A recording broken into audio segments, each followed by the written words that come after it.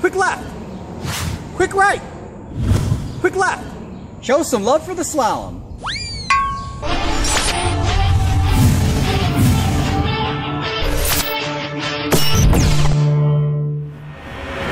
Rotorcross. In this episode, we head out to one of our favorite courses called Slalom Fest. It features not one, not two, but three different types of slaloms.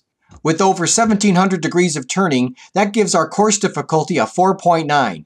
And for more on slaloms, let's bring in the race professor. Slalom is a series of left and right turns that challenge the racer's ability. Slaloms can be set in either inline, where the gates are set, you guessed it, in a straight line, or staggered, making the challenges a little bit more for the racers. They can also be a loose set, where the spacing between the gates is generous, both inline and staggered, or they can be a very, very, very tight set, where the racer has to rapidly go left and right. This can also be applied to the stagger. Adding slaloms to your course design will make your racing experience wunderbar! 100 yellow arrows to lay, so let's get cracking.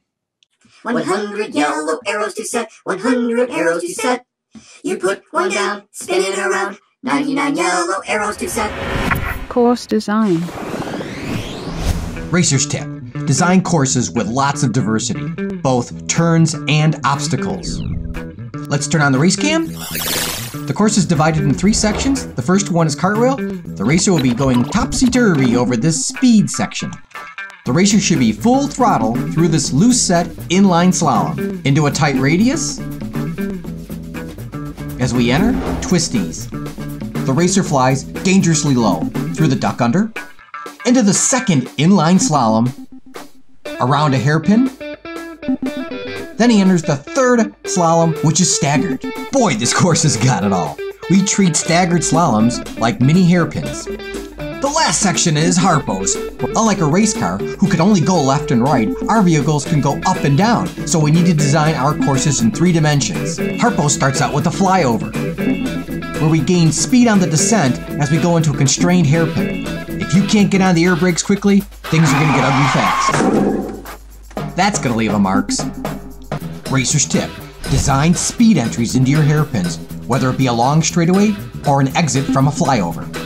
Coming out of the constrained hairpin, we lay on the throttle as we race for the finish line. Tough stuff over at Slalom Fest. Run timing. Challenging course set, time to get a hot lap. Racer's tip. Time your runs. You're not racing unless you're getting a lap time. Turn your transmitter's timer into a stopwatch. Now let's race. We're full power as we go to the start finish line, entering cartwheel. Loose set, inline slalom, hard right, pressure on the elevator, hard left, into our tight radius, and getting ready for the duck under. As we enter, twisties. Medium set, inline slalom, tough to set up for. Treat it as a straight line, forward pressure again, into our hairpin. We're training our eyes to look past the turn.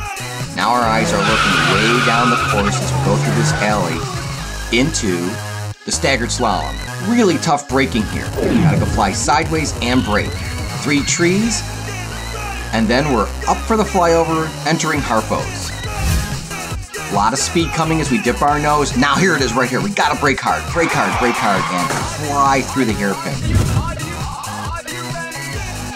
Exit under full power as we dogleg left.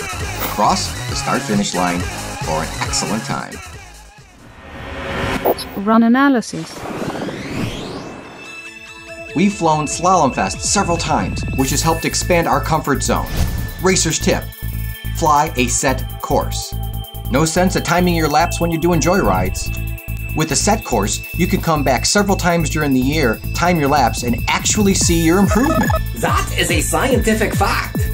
Let's critique this last run, starting with what worked.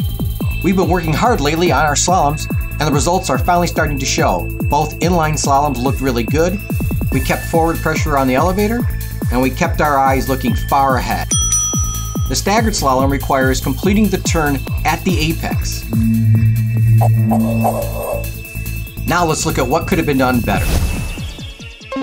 High speed entries into these tight turns are nail biters for sure.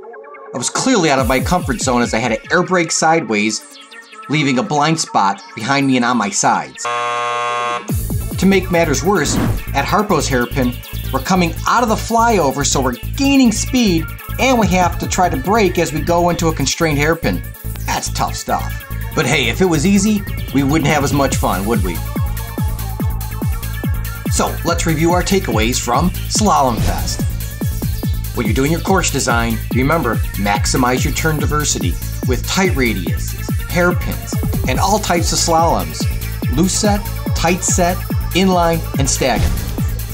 For maximum challenge, set up your hairpins with high speed entries. Fly a predefined course and always, racers, time your runs. Keep those tips in mind, and your next lapping session will be Wunderbar! All right, racers, now go light it up.